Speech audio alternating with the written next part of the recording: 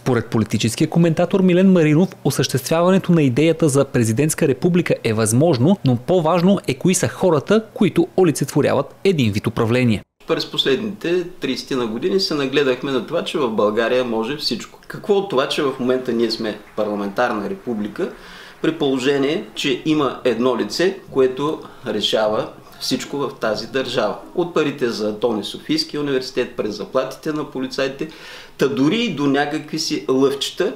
Ние в момента, нищо, че сме парламентарна република, можем да кажем, че българския модел е малко по-особен на парламентарна република и той е тип премиерска република. Политическият анализатор смята, че основната агитация за идеята ще е свързана с това, че когато властта се концентрира в едно лице, отговорността ще е по-голяма. Тази отговорност обаче трябва да бъде търсена, смята Милен Маринов. Народът трябва да а, търси отговорността от а, своите избраници. Вижда се обаче, че това не работи. Когато ние сме недоволни от нашите народни избраници, ни се обяснява, че чак на следващите избори, които ако всичко е наред, след 4 години, ще им кажем, че не сме доволни. Не става така.